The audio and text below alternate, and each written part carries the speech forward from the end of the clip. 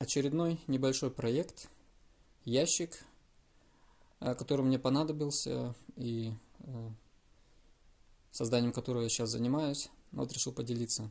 Материал у меня остатки э, досок с прошлого проекта. Доски, вот их ширина вот здесь 10 сантиметров, высота 2 сантиметра. Немножко толстоватый, но ничего. Ничего страшного. Э, можно и такие доски применять, они даже хорошо, хорошо тем, что небольшим количеством досок можно уже достаточно большой ящик э, сделать.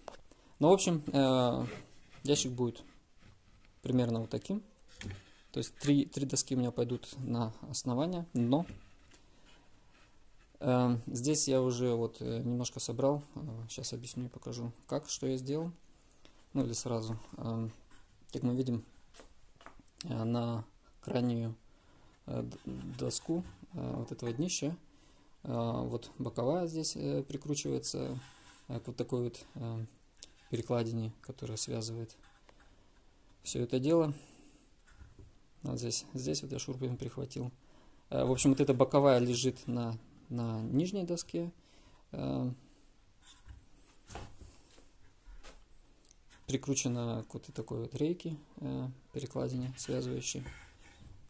Ну и снизу тоже вот здесь вот двумя шурупами, можно гвоздями, не знаю кому как. Я шурупами решил связать. Так, ну в общем, вот так вот выглядит для начала. Потом у меня есть вот такие вот доски. Они короче, это в ширину, которые идут. Будут примерно вот здесь вот находиться по бокам. Дальше, опять же, вот это с этой стороны доска. Все, у нас теперь ящичек такой. Ну, а вот эти вот будут находиться здесь, связующие. А, здесь? Нет, извиняюсь, вот так вот. Надо на дно ставить. Здесь на дне будет стоять. Так. С той стороны тоже будет стоять. Вот так вот.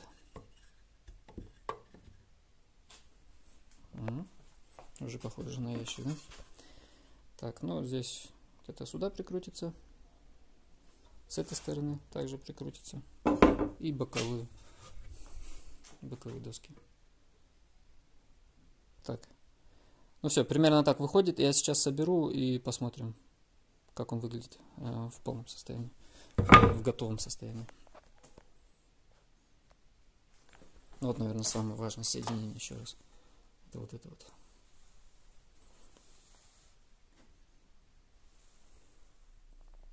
Ну вот что у меня получилось. Так, некоторые комментарии. А, скручивал я а, детали при помощи шурупов, а, поэтому сборка немножко затянулась. Думал, будет все быстрее. Сейчас бы, наверное, просто сбил все гвоздями. Что, в принципе, там в некоторых местах и делал. Например, уже э, тут дно я уже сколачивал гвоздями, э, потому что, э, чтобы вкручивать шурупы, мне приходилось э, сверлить отверстия, потому что доски трескались, и все это очень сильно затягивалось. Я думаю, гвоздями классика и для ящика даже э, немножко симпатичнее выглядит, чем шурупами. Э, но также добавил я вот такую небольшую перекладину э, здесь э, на дно, чтобы ящик стоял э, как бы это ножки этого ящика.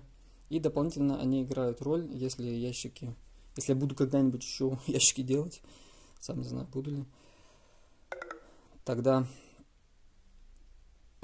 они служат э, роль э, таких упоров. Э, э, в них они вкладываются в, в нижестоящий ящик, и поэтому ширина их должна быть, э, может быть, чуть-чуть меньше, чем э, вот эта вот линия. Ну, понятно, да?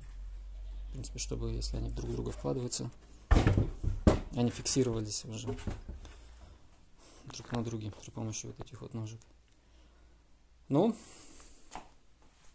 а, ну может быть еще размер, еще раз, потому что я, по-моему, э, обещал, что я э, размеры покажу и расскажу.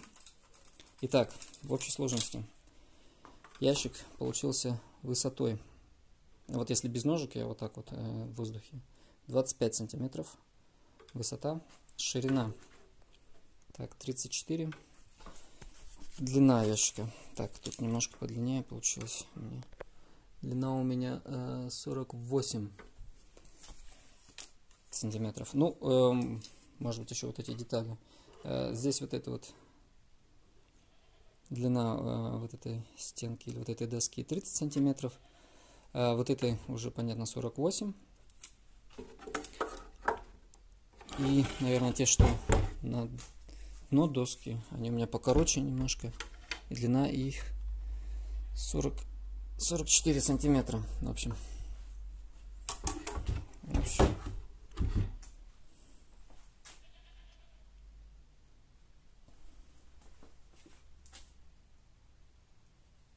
Все, всем спасибо за внимание.